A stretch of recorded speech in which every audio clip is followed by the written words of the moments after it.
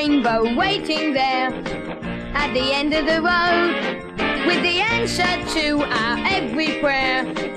At the end of the road, there's a golden door and a golden key, and they're waiting for both you and me. All we have to do is follow the signs we see to the.